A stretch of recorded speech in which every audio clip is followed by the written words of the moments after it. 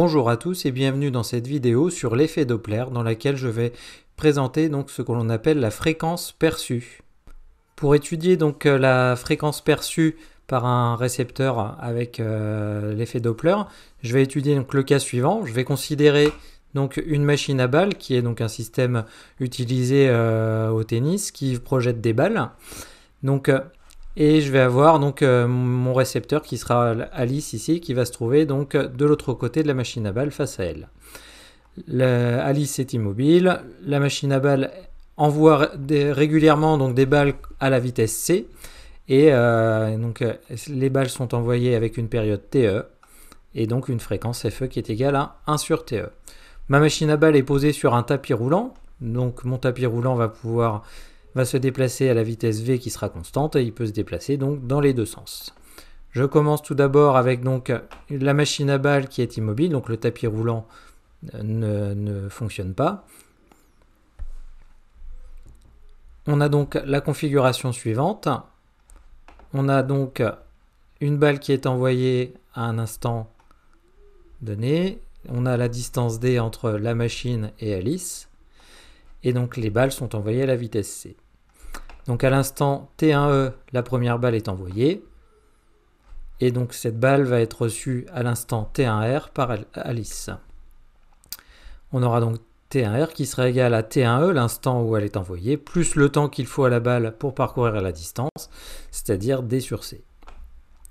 Ensuite, j'ai ma deuxième balle qui est envoyée, la première a avancé jusqu'ici.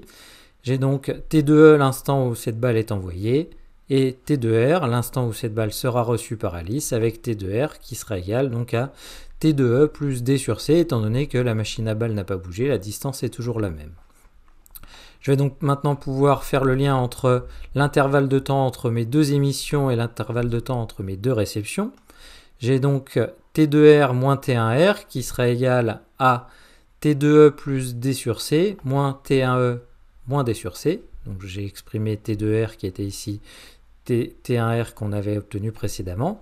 Je vois que je peux simplifier les D sur C et j'obtiens donc T2R moins T1R qui est égal à T2 moins T1E.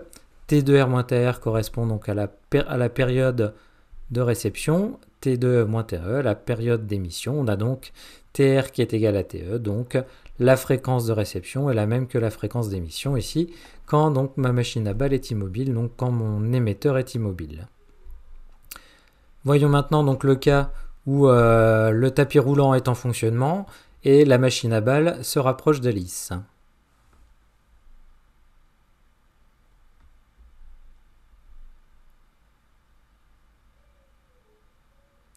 On a donc dans cette configuration la, machine à balles qui avance sur le tapis.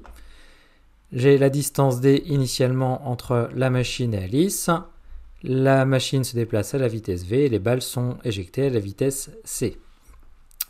Donc au premier instant, j'ai une balle qui est émise, donc le temps T1E, et donc Alice va récupérer la balle à T1R qui sera égal à T1E plus D sur C. À l'instant initial, la distance était de D. Ensuite, ma, machine à balles va avancer et va émettre une deuxième balle. Donc dans cette configuration, on voit que la distance D ne correspond plus maintenant à la distance entre la machine et la balle. La distance s'est réduite. Elle avance toujours à la vitesse V. Les balles sont toujours envoyées à la vitesse C. Donc cette balle est, émise à l'instant T2E. Et je vais donc déterminer ici l'instant t de r en utilisant la nouvelle distance entre la machine et Alice qui est d' qui vaut d moins v de t de e moins TAE, c'est-à-dire le temps, l'intervalle de temps pendant lequel la machine s'est déplacée à la vitesse v, donc ça me donne bien une distance ici. Et donc moins car la distance diminue. J'ai donc t de r qui est égal à t de e moins plus d' sur c, donc le temps de parcours, le temps de parcours pour parcourir d', et donc ici d' qui vaut d moins v de t 2 e moins t1e. Donc je vais faire comme précédemment, je fais la différence entre la T2R et T1R, j'exprime T2R, T1R par leur expression, ce qui me donne T2E plus D' sur C moins T1E moins D sur C. je vais développer des primes et j'obtiens donc T2R moins T1R qui est égal à T2E moins T1E plus D moins V de T2E moins T1E sur C moins D sur C.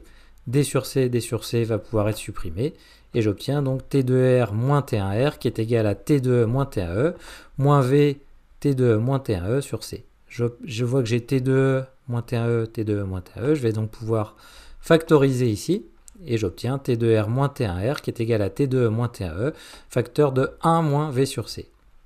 T2R moins T1R correspond à TR, T2E moins T1E correspond à TE. J'ai donc TR qui est égal à TE, facteur de 1 moins V sur C. Je vais chercher à obtenir une relation en fréquence, donc je vais inverser ma relation et j'ai donc FR qui est égal à FE sur 1 moins V sur C, qui me donne donc le lien entre la fréquence reçue et la fréquence d'émission ici. Donc je constate que j'ai une vitesse qui est positive ici, qui est euh, également qui est positif, et j'ai pris une vitesse inférieure à C. On voit bien que si j'ai V supérieur à C, l'ensemble va être négatif, et donc ça va me donner une fréquence négative, ce qui n'a pas vraiment de sens. J'ai donc V sur C inférieur à 1, et donc 1 moins V sur C qui est compris entre 0 et 1. Donc FE divisé par quelque chose qui est compris entre 0 et 1 va bien me donner ici FR supérieur à FE. J'ai donc une fréquence qui augmente quand, euh, l'émetteur se rapproche du récepteur. Voyons maintenant le dernier cas, dans le, dans le cas où la machine à balles cette fois s'éloigne d'Alice.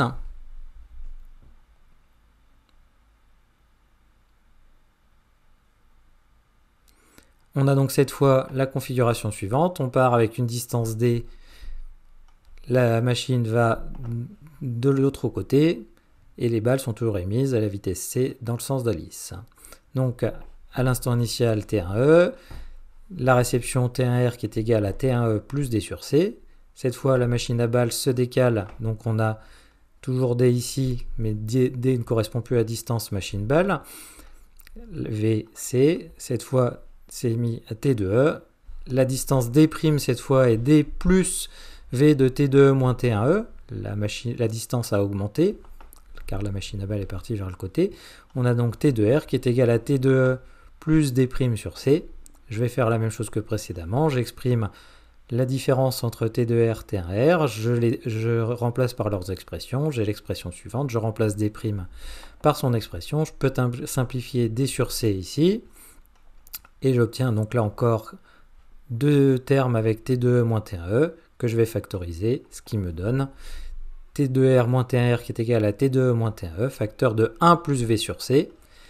TR est égal à TE facteur de 1 plus V sur C. J'inverse ma relation et j'obtiens FR qui est égal à FE sur 1 plus V sur C. Comme tout à l'heure, V supérieur à 0, C supérieur à 0 et la vitesse est inférieure à C. V sur C inférieur à 1 cette fois. Enfin non, comme tout à l'heure d'ailleurs. Et euh, donc 1 plus V sur C, cette fois par contre, est supérieur à 1. Donc on a bien quelque chose de FE divisé par quelque chose de plus grand que 1 qui va me donner FR inférieur à FE. Donc quand l'émetteur s'éloigne, la fréquence reçue est inférieure à la fréquence d'émission. On va donc généraliser tout ça.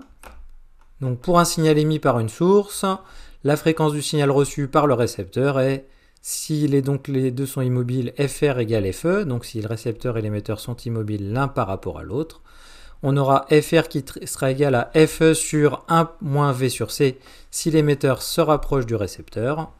On aura FR égale FE sur 1 plus V sur C si l'émetteur s'éloigne du récepteur. Et on a donc à chaque fois FR, FE, les fréquences du signal reçu et émis qui sont en Hertz.